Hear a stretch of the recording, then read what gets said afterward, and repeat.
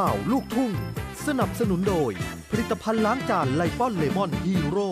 ขจัดคราบคาบ หมดคราบมัน ไทยประกันชีวิตมากกว่าการประกันชีวิต มาถึงช่วงสุดท้ายครับกับรายการข่าวลูกทุ่งนะครับ เรามีหนึ่งเรียกว่าบุคคลนะครับที่มาร่วมพูดคุยกับเราในเบรกนี้นะครับต้องบอกว่านี่คือรุ่นเหลนแล้วก็เป็นผู้ที่จะสืบทอด เรื่องราวของวัฒนธรรมอีสานคนต่อไปของคณะเสียงอีสาน วันนี้รายการข่าวลูกทุ่งยินดีต้อนรับ น้องแป้งนัทธิดาครับ สวัสดีครับน้องแป้งครับสวัสดีค่ะอันนี้เป็นรุ่นหลายๆคนรู้จักว่าเป็นรุ่นเหลนแล้วค่ะเป็นรุ่นเลนเป็นรุ่นเหลนแล้วนะฮะโอ้โหนะครับน้องแป้งอยู่กับเสียงอีสานมาตั้งแต่ ตั้งแต่อายุ 9 ขวบอะค่ะ ค่ะ จนตอนนี้ก็อายุ 19 แล้วค่ะ โอ้โหโอ้สิบสิบปีปีแล้วแล้วนะครับ อืม มาอยู่วงดนตรีวงนี้คุณพ่อคุณแม่ทำหน้าที่อะไรครับในเสียงอีสานก็คุณแม่ก็เป็นนักร้องค่ะ อยู่ทีมดาวทองอ๋อค่ะทำคุณแม่งานเพิ่นโชเป็นว์หลาน ค่ะ เป็นหลานค่ะเป็นหลานเพิ่นเป็นเหลน ครับ อ๋อ คุณแม่เป็นหลานเลยเหรอคะ ค่ะ คุณแม่รุ่นหลานแล้วโอ้โห หนูเป็นรุ่นเลนค่ะ นับกันแบบว่า โอ้โหนะในใน คือเสียงอีสานเนี่ยเขาเรียกว่ามีหลายเจเนเรชันค่ะ นะครับวิธีการนะครับที่จะบอกว่าอยู่ด้วยกันอย่างที่บอกนะครับเราอยู่กันแบบครอบครัว กินไหนนอนไหนเฮไหน เจ็บป่วยคลอดลูก คุณแม่จัดการดูแล ลูกน้องลูกๆทุกคนแมนค่ะ ค่างวดรถงวดตู้เย็นงวดบ้านงวดเมียหน่อยลูกกับขอแม่เลจริยงเหรหมอดเลยแม่อะยังค่ะ นะครับอ๋อ เขาบอกว่าเวลาไปไหนเนยนะครับเสียงอีสานจะต้องยกครัวไปเลย ค่ะขั้วเสียงอีสานแมนถือครัวซอยเสียงทำกันเองเลย แมนค่ะ นะฮะ ข้าวเหนียวใช้วันละกี่กระสอบคะแม่ ข้าวเหนียวขาบละ ขาบละสามสอบโอ้โหขาบละนะฮะมือหนึ่งนะมือมือหนึ่งเนี่ยสามกระสอบค่ะมือมือหนึ่งแล้ววันหนึ่งล่ะโอ้โหแล้วกี่กี่มื้อล่ะคุณท็อปกี่มื้เออกี่มือก็ต้องกินสามมื้อคืออะคือกินบ่หัวารับนอนย่ามใดนะฮะแล้วแต่สินอนฮะคือหิวเมื่อไหร่มีดูเนี่ยเมื่อไหร่มีก็ตลอดเลยครบคำสามนี่บ่ได้พักวันเลยค่ะโอ้โหเออแสดงว่าแม่ค่ะครัวเนี่ยจะต้องแบบว่าทำอาหารให้กับลูกๆวงทั้ง 500 คน ทุกมื้อค่ะ มีมีมีแม่ครัว ฮะมีรถครัวมีรถครัว ค่ะรถครัวแล้วก็ แต่ที่บอกว่าแล้วแต่จะหลับจะนอนนี่คือแล้วแต่เธอสิทำกินอีก ตามใจชอบของเธออีกต่างหากไม่ได้เกี่ยวกับแม่ครัวพ่อครัว อือ๋อมนะคะนะความผูกพันระหว่าง ต้องบอกว่าเรียกเป็นอะไรคะแม่ใหญ่แม่ใหญ่เมยายกับค่ะแม่ลูกใหญ่ กับเหลนนี่ค่ะ ผูกพันกันยังไงบ้างคะน้องแป้ง ก็ชีวิตประจำวันนะคะกสิค่ะ อยูกับแม่ใหญ่ตลอดเลยค่ะอ๋อ กสิซ้อมเพลงซ้อมค่ะ ก่อนล่ำแล้วก็ทำ ทุกทุกอย่างเลยค่ะ ค่ะ ดุไหมครับ ต้องดุไหมต้องถามไหมก็ เวลาซ้อมเวลาอะไรอย่างเงี้ย เออคุณแม่มีชำเลืองเลยนะจำเนือเมื่งอด้วกี้ยนะคุณแม่มีชำเลืองด้วยอะมีจำเนืองด้วย ก็นิดนึงค่ะ ถ้าเกิดว่าเราไม่มีวินัยในตัวเองก็ต้องโดนดุ อ๋อ ค่ะสิ่งสิ่งที่เอ่อคำสอนเหลนหลาน หรือว่าลูกๆในทีมงานของเสียงอีสาน ครับ ก็คือปลูกจิตสำนึกแล้วก็หล้อมวิญญาณ ครับ ให้ภูมิใจเสียงพินเสียงแค้นจากตำนานพินแค้น วัฒนธรรมของคนอีสานเฮาคือให้ภูมิใจต้องภูมิใจองค์กรหน่วยงานของเราอะคือไม่ใหญ่ไม่ใหญ่สิไปได้รางวัลอีหยังก็แล้วแต่ ครับถ้าลูกหลานหรือบริวารคนอยู่ในองค์กรของเฮาบ่ภูมิใจเฮาทำยังไงก็พัฒนาไม่ขึ้น พัฒนาบ่ได้ที่พร่ำสอนบ่ว่าสิเป็นหลานเหลนหรือว่าเอ่อทุกคนในทีมงานเสียงอีสาน ค่ะ ต้องรู้คุณค่าของคำว่าเสียงอีสานก่อน อ๋อเป็นต้หัอวงใจสำคัญ แมนคุณต้องภูมิใจ ภาษาอีสาน ภาษาทิน แล้วคณะเสียงอีสานคือดนตรีหมอลำค่ะที่เป็นตัวแทนของคนอีสาน แล้วก็ก็ต้องศรัทธาหักนกหน่อยอุไรพรก่อน ครับ ถ้าเขามาโดยบ่หักบ่ศรัทธาบ่ฮู้เลยว่าทีมาของนกน้อยอุไรพรมาแตาใสเป็นไผเฮ็ดหยังค่ะ ก็ไม่รู้ว่าคุณเข้ามาคุณจะอยู่ยังไงก็อยู่ไม่ยืนแล้วก็เออไปไม่รอดเอออ๋อค่ะ แสดงว่าก็มีคนที่อยากจะเข้ามาแต่ว่าพอเข้ามาแล้วเนี่ย มันไม่ได้สวยงามหรือว่าสบายอย่างไม่ที่ได้คิศรัด ทธาเราไม่ได้ศรัทธา เออเข้ามาวันค่ะใดไวก็ก็มองแค่ภาพรอบนอกเออว่าสวยงามเดี๋ยวค่ะอลัสวยงามเลยโอ้โหโอ้โหการต่อสู้ชีวิตคือ กับเส้นทางมันยาวนานแค่ไหน จนจับต้นชนปลายบ่ถือ อ่า ค่ะนี่พยายามล้อมลูกหลานเลนหรือว่าบริวารของเฮาว่า ชีวิตของเมนกมาจาก หางเครื่องคนกระเดเต้นคือกันน้องแป้งค่ะ น้องแป้งก็เต้นเหรอ เป็นนักเรื่องมาก่อนแม่เป็นลูกศิษย์ค่ะผู้เทียมนี่ เอาลูกศิษย์ครูเทียมด้วค่ะ ย ลูกศิษย์ตอนครูเทียม ตอนตอนแรกที่หนูไปหนูซ้อมเต้นใช่ไหมคะฮะ ครูเทียมเป็นคนฝึกให้ครูเทียมก็จะบอกว่าเอาตัวอะไรมาเต้นข้างฉันเนี่ยครูเทียมชิงช้าสวรรค์ด้วยนะแม่นค่ะคือตอนนั้นหนูยังทำอะไรไม่เป็นเลยอะค่ะ ฮะ คือเต้นก็ไม่ได้เรื่องร้องเพลงก็ยังแบบ ไม่ได้เรื่องแต่ตัวหน่อยพร้อมใช่ตัวเล็กแล้วก็ตัวเล็กค่ะ ๆแสดงว่าเส้นทางของการที่จะมาเป็นแบบว่าคนเบื้องหน้ามาเป็นนักร้อง หรือว่าเป็นดาวจรัสฟ้าของเสียงอีสานเนี่ยอืมต้องมาเริ่มตั้งแต่แรกเริ่มแบบตั้งแต่สมัยฝึกเต้นเลยอย่างนี้ แมนค่ะ เหมือนกับแม่เลย ค่ะ ใช่ นี่นี่คือถ้าไม่มีครูเทียมเพิ่นครับเบิงเพิ่นคอมเมนต์ค่ะ ก็คงอาจไม่ได้เป็นน้องแป้งอืมที่มะนางขางไม่ไงอืม ครับ ค่ะ เพราะว่าท่านบอกว่า เนี่ย แล้วแล้วมึงคิดว่ามึงเป็นเป็นลูกหลานบ่ฮะอย่าอย่าคิดอย่าอย่าคิดว่าครูเทียมสิบหันใช่คอมเมนต์บอกนี่แหละค่ะน้องแป้ง เอออ่าสักก็นับไปคอมเมนต์ไปอะค่ะอืมแล้วก็ซึ่งตอนนี้ท่านบอกว่า เออ คุณแม่แม่ได้พึ่งมันจริงๆเนาะอีแป้งอืมค่ะคือคือก็ดูมาแลเทียบทุกอย่างเลยตอนค่ะนี้ ค่ะดูแลสุยางกับสายเลือดอ๋อ คนอีสานสายเลือดบ่ได้บอกว่าเป็นสายเลือดของไม่ไงต้องฮะบอกว่าสายเลือดของคนอีสานอืมค่ะ กับการพัฒนาค่ะแล้วก็หูจากวัฒนธรรมตะต้องสืบสานซอยไม่ไงครับค่ะวัฒเมื่อนธรกี้รมของพูดถึงอีสานครูเทียมครูเทียมเนี่ยเข้ามาดูแลในส่วนของการทำโชว์ในทุกๆ ปีให้กับเสียงอีสานแมนค่ะอืมสิบกว่าปีแล้ว สิบกว่าปีแล้วค่ะ นะครับ เวลาครูไปคุมคนนะครับ อย่างน้อยหางเครื่องเนี่ยมีเป็นร้อยคน เออ ครูเคยบอกผมนะ บอกว่าเหนื่อยสุดๆ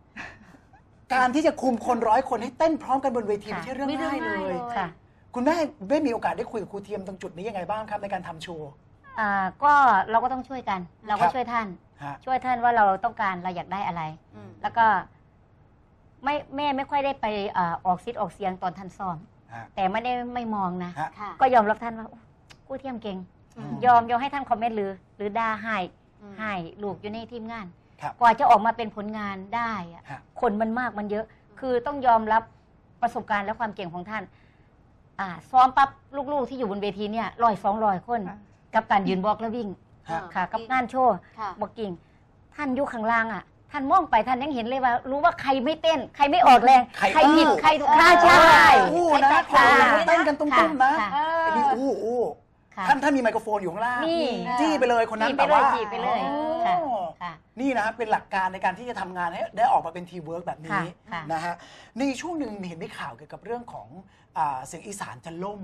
คุณแม่จะเลิกแม่จนถึงไปแบบบวชไปบวชทีเลย แบบว่าจะละทางบันเทิงทางโลกแล้ว ข่าวนี้เท็จจริงยังไงครับคุณแม่ ก็จริงแล้วก็คือกับเส้นทางชีวิตที่ต่อสู้ มันบริห้อยโดยดอกกุหลาบครับโดยกลีบค่ะกุหลาบค่ะ มันปัญหาหลากหลายมากมายกับเหตุบ้านการเมือง ข้าวยากหมากแพง ค่ะ ความรุนแรงของวัยรุ่น อืมถอดใจ คุณแม่กลับถอดใจก็เลยถอดใจถอดใจท้อใจ ท้อได้ แต่ถอยได้ไหมเนี่ย คุณแม่พูดกับตัวเองแบบนี้บอกใช่อืมแล้วก็แฟนเพลงแฟนคลับลังมากลังมากกับการบอกว่าสิเป็นอ่าให้ กำลังใจค่ะนะทั้งโทรศัพท์หรือทั้งโลกออนไลน์ อ่าครัฮะบแล้วก็ช่วงที่คุณแม่ไปไปไปบวชอยู่วัดค่ะ ค่ะ ก็มีพระสงฆ์องค์เจ้า ก็ให้กำลังใจแล้วก็หลายมุมมอง หลายมุมมองนี่ในด้านธรรมะ ท่านบอกว่าไม่ได้ สิมาบวชเลยบ่ได้เด้นกน้อยอุไรพรเธอต้องออกไปผ้าลูกของเธออะอืม โบยบินและต่อสู้สร้างความสุขสืบสารวัฒนธรรม ให้คนไดีมวลซืน อันนี้คือคือพระท่านพูดทำพระเลยนะค่ะท่านท่านก็บอกเลยแบบฉุกค่ะ คิดได้เลย ค่ะ ก็มีหลายท่านเหมือนกันพระหรืออ่าแฟนเพลง อยากให้บวชเลยอะ อืมอยากให้บวชเลย ให้บวชแล้วไม่ศึกเลยไม่สึกอ้าว ค่ะ อ๋ออยากให้บวชช่วงนั้นมันเป็นช่วงหัวเรี่ยวหัวต่อของชีวิตในการตัดสินใจค่ะ นะครับ การที่จะพา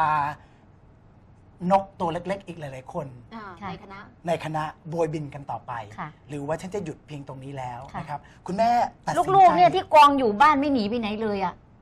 เขาไม่ยอมที่จะเลิกไปทำอย่างอื่นก็ก็ก็ยังอ้าปากรอที่จะเมื่อไหร่แม่จะสึกเนี่ยพูดอย่างนี้ก็มีอ๋อทำไมอะ ก็คือเนี่ยงวดเมียผมคนนี้ก็ยังไม่มีงวดค่าเทอมลูกผมผมคอยคุณแม่อยู่ แสดงว่าทุกคนมีความหวังว่ายังไงแม่ก็ต้องสึก ค่ะ แม่ศึกมาต้องถามน้องแป้งดีกว่า ในช่วงนั้นอยู่ในเหตุการณ์ด้วย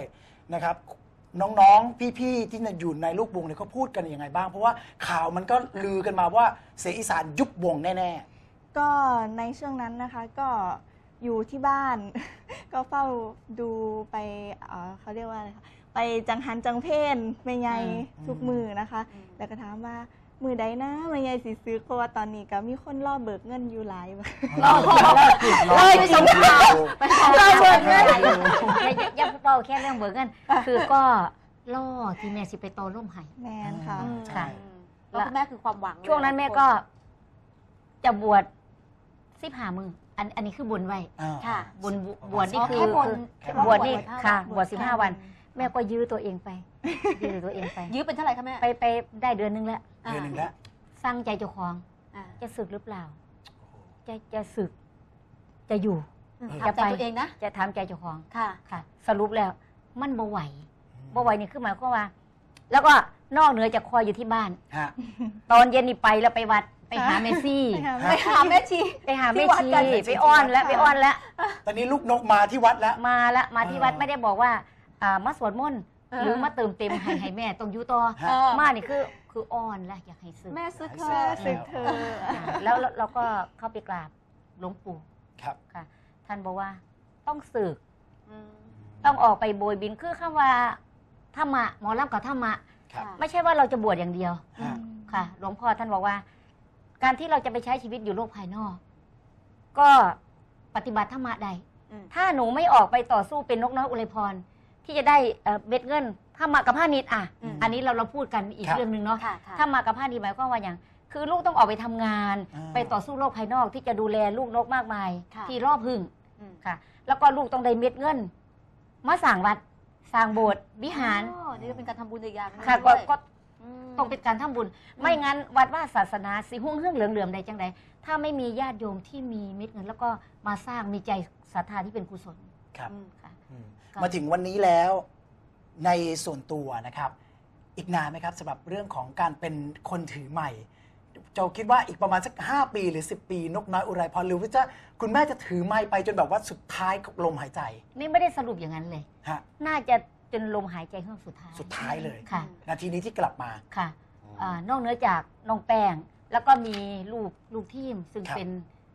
สมาชิกของเสียงอีสาน ค่ะ ที่หักเสียงอีสานหักนกน้อยอุไรพร หูจากคุณค่าของภาษาถิ่นภาษาอีสาน ก็มีมากที่ทำให้มาเติมเต็มให้หัวใจเรา มันชื้นมันเต็มขึ้นมาครับอืมท่านผู้ชมครับนี่คือเรื่องราวของการเป็นวงดนตรีระดับตำนานเสียงอีสานครับ เรียกว่าวันนี้เราได้ฟังจากปากของแกนนำคนสำคัญนะครับของวงดนตรีวงผู้นี้นำสิ ผู้นำครับแกนผู้แกนำคนนสำคัญถ้าแกนนำนี่ไม่มีปัญหาแม่ต้องออกโซเชียลแล้วขึ้นหลังนะเกี่ยวกับเรื่องราวของการที่จะนำพาวงดนตรีวงนี้นะครับให้เป็นกระบอกเสียงแล้วก็ค่ะ สืบสารตำนานของเพลงอีสานต่อไป อย่างแน่วแน่ด้วยเจตนารมณ์ของนกน้อยอุไรพร เธอบอกว่าเธอจะยืนจับไมค์ จนลมหายใจสุดท้ายของชีวิต วันนี้ต้องขอขอบคุณคุณแม่นกน้อยอุไรพร แล้วก็น้องแป้งนัทธิดามาก ๆ ที่มาร่วมรายการข่าวลูกทุ่งครับขอบคุณมาก ๆ ครับคุณแม่ครับขอบคุณค่ะส่งท้ายในวันนี้นะครับด้วยมิวสิกวิดีโอของน้องแป้งนะครับไปดูความน่ารักแล้วก็ความสดใสของเธอวันนี้เอาเพลงอะไรมาฝากครับผลงานเพลงฝนห้ามฟอนเข่าค่ะอ่านะครับเราส่งท้ายกันด้วยเพลงนี้ในช่วงสุดท้ายของรายการ และกลับมาติดตามรายการข่าวลูกทุ่งได้ อีกครั้งหนึ่งวันพรุ่งนี้ครับ 13นาฬิกาถึง 14นาฬิกาทาง Spring News วันนี้พวกเราทุกคนและทีมงานทั้งหมดลากันไปก่อนแล้ว สวัสดีครับ สวัสดีค่ะ